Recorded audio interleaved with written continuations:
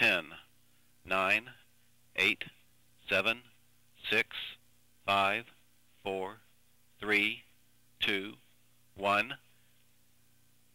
We have engine Plus ignition, two, Plus three. and we have liftoff. Liftoff of NASA's QuikScat satellite aboard a Titan II rocket from Vandenberg Air Force Base as we continue to study the winds of the world's oceans.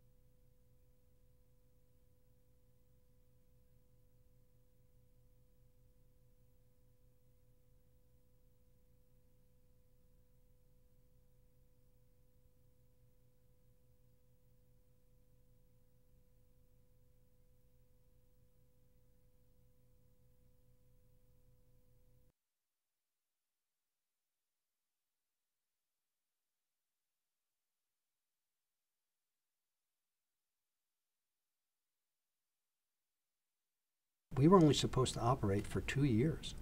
We've been up there operating for 10 years. I really think the government has got its money's worth. It's a terrific feeling to know that our spacecraft, QuikScat, is still up there flying today. It's been almost, it's a decade really, uh, since we launched it. Uh, and it's been providing great science data, and it's providing data to the operational community, which use it for weather forecasting and storm warning also.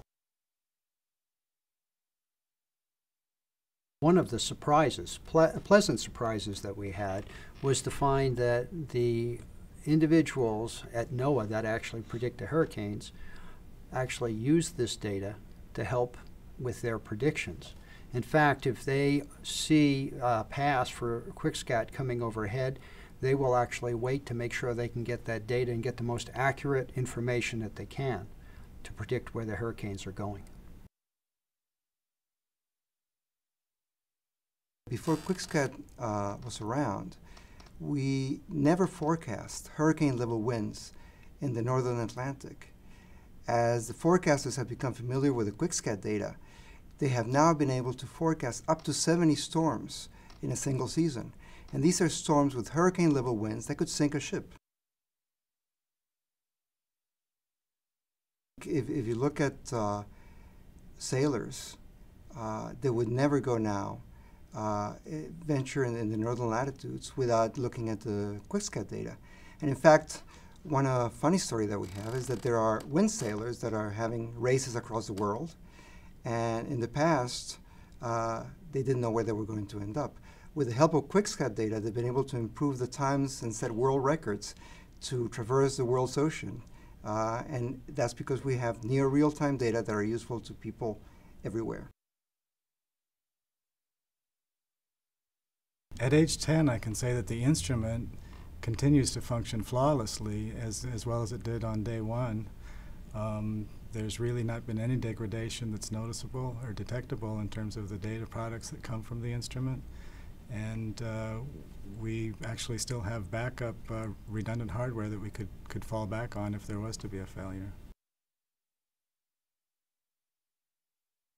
So I think one of the legacies of QuikScat is clearly going to be um, that this system has survived now for 10 years. Perhaps it'll, it'll survive many more years, we hope.